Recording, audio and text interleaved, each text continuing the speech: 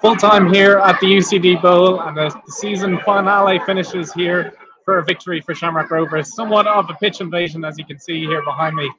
Many of the Shamrock Rovers fans celebrate the winning end to what's been a really successful season. 2 0 win here. An opening opening uh, goal by Aaron Greene just after six minutes in, in the first half. Lovely little header from um, Justin Farage. Set up Aaron Greene to get low and pop it past Keane Moore in the goal. It was quite a rested UCD side uh, ahead of their playoff final against Waterford next week.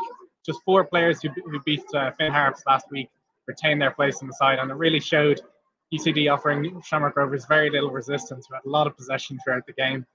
Big miss from uh, Ronan Finn midway through the second half was a real standout moment. The second half it looked like it was going to finish one 0 before substitute Simon Power doubled Shamrock Rovers' lead on the 82nd minute mark after a Sean Kavanagh free, Sean Kavanagh corner kick.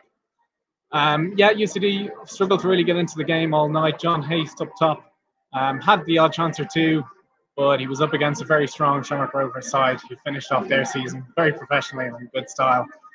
Uh, on to the playoffs for UCD, who face Waterford, as I said, next week. Shamrock Rovers can celebrate their season after winning on a high. Full time here at the UCD Bowl, it's UCD AFC nil, Shamrock Rovers 2.